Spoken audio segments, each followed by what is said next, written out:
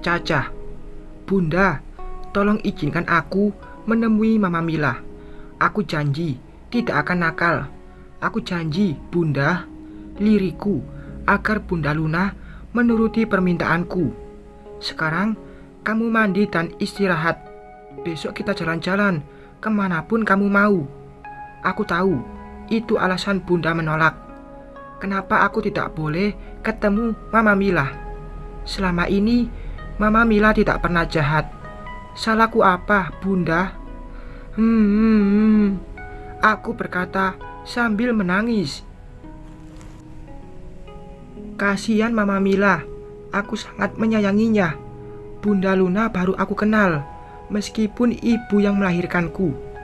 Apakah aku salah sayang kepada Mama Mila?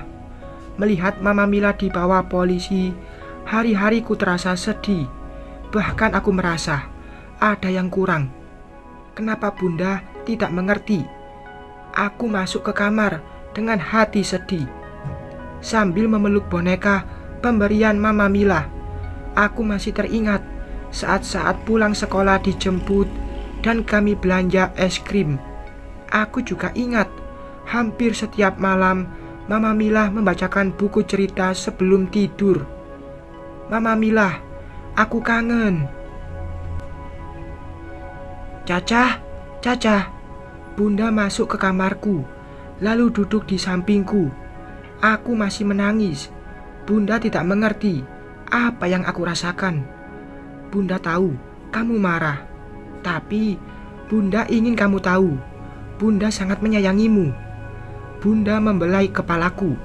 Tangisku makin menjadi. Aku tidak melupakan Mama Mila. Aku tidak bisa.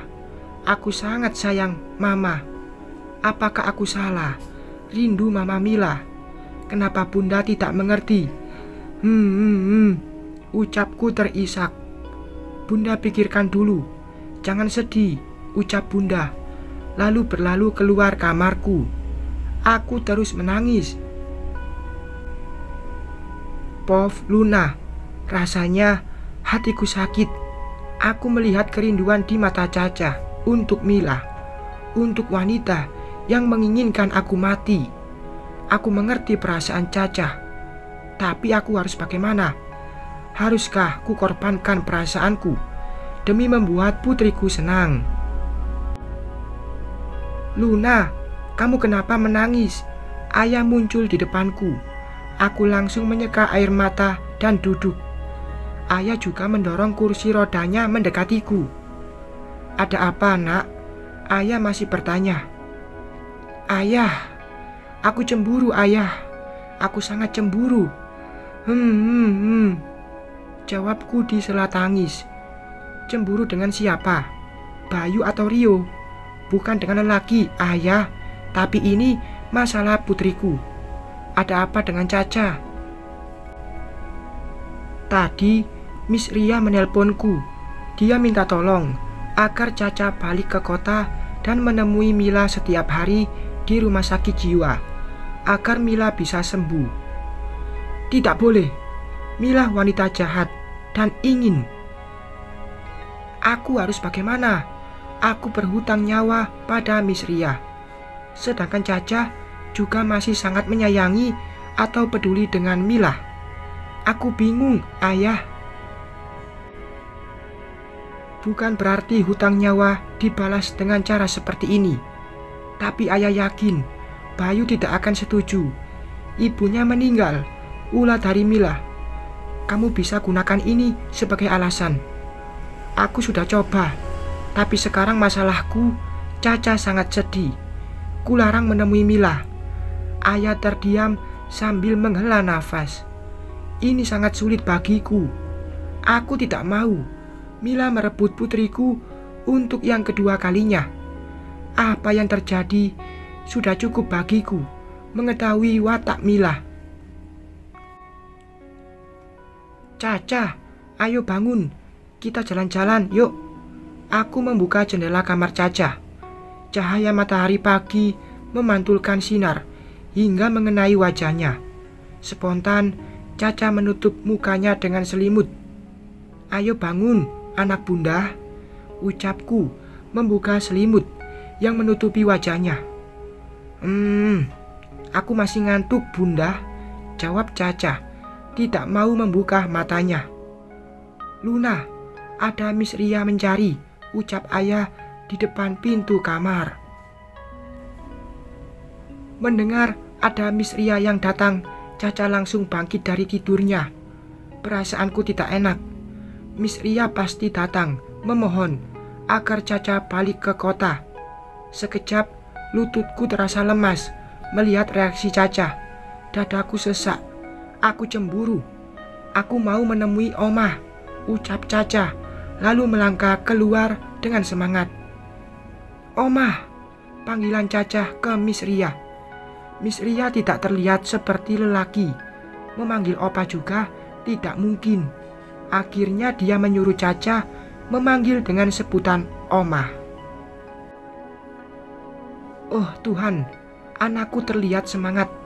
Aku tahu Miss Ria, dia akan melakukan apa pun demi tujuan hatinya. Dia seorang yang sangat pintar dalam taktik. Mungkin ini juga yang dilakukan padaku semua agar bisa membawa Caca ke dekat Mila. Ternyata hidupku belum tenang. Dengan perasaan tidak enak, aku ke ruang tamu. Sampai di ruang tamu, aku terkejut. Ternyata Miss Ria datang bersama Bayu. Kalau ku perhatikan, Bayu terlihat senang. Apakah mungkin dia menyetujui permintaan Miss Ria? Apa kabar Luna Sapa Miss Ria sambil duduk santai bersilang kaki. Baik Miss, jawabku pelan lalu duduk. Ayah tepat di sampingku. Bunda, aku mau ke kota. Papa mengizinkan aku menemui Mama Mila. Ucap Caca yang membuatku terkejut. Ternyata firasatku benar. Bayu mengizinkan Caca menemui Mila. Tapi, tapi, Mas, Aku gugup. Ini ibarat satu lawan tiga. Aku kalah. Luna, caca besar di tangan Mila. Aku sangat egois, membuat putriku sedih.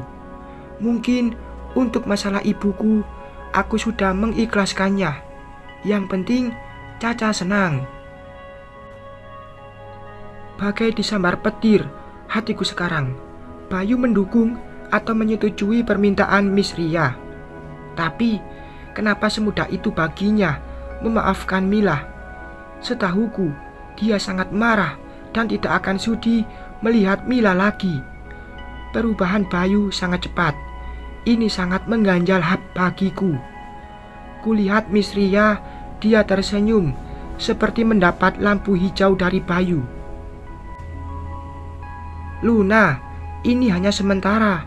Setelah ada perubahan baik bagi Mila, Caca seutuhnya tetap anakmu. Aku tidak akan merebut Caca untuk Mila. Percayalah. Aku diam mendengar perkataan Miss Ria. Aku sangat tahu watak Mila. Dia dan Dona tidak jauh berbeda. Luna, aku papa Caca. Tugasku juga melindungi putriku. Aku tahu baik atau salah untuk putri kita. Bayu berusaha membuatku menyetujui keinginan Miss Ria. Aku menatap ayah. Sejenak kami beradu pandang. Ayah sepertinya sangat mengerti perasaanku. Tapi bagaimana caraku menolak Miss Ria? Aku berhutang nyawa, sedangkan Caca sangat ingin menemui Mila. Tambah lagi, Bayu mendukungnya. Aku kalah. Aku tidak bisa berbuat apa-apa. Baiklah, tapi aku punya syarat. Ucapku berat hati. Apa pun syaratmu, akan kusanggupi, Luna, jawab Miss Ria. Aku juga ikut ke kota. Selama aku di kota, aku minta Caca tetap tinggal bersamaku. Waktu bertemu Mila, akulah yang membatasi. Hanya itu yang bisa aku ucapkan. Ini juga demi agar putriku tidak jauh dariku. Kamu bisa tinggal di rumah kita lagi, Lun, kata Bayu. Tidak, Mas. Kita sudah berpisah dan tidak baik satu atap. Aku menolak ide Bayu. Rumah itu besar. Lagian, Caca bisa bersama kita. Seperti keluarga utuh. Ucap Bayu. Masih kuku. Bunda, aku mau kamar lamaku, pinta Caca. Tapi, sayang, aku sangat keberatan. Luna, seharusnya kamu tidak egois. Caca butuh Bayu dan kamu. Ucap Miss Ria seperti mendukung keinginan Bayu. Sejenak kulihat Miss Ria dan Bayu sedang bersekongkol. Tapi apa tujuan Bayu menyetujui semua ini? Aku sangat tahu di hatinya masih menyimpan luka atas kematian ibunya. Akhirnya kami berangkat ke kota. Ayah tetap di desa karena mengawasi pekerja di peternakan dan ladang kami. Ini hanya sementara. Aku akan kembali lagi bersama Caca hidup tenang di desa ini. Mudah-mudahan bersambung.